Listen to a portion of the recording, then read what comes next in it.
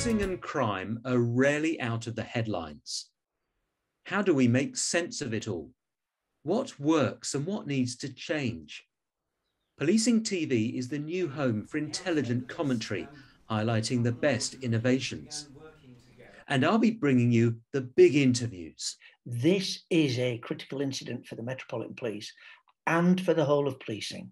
From the team behind Policing Insight, Policing TV.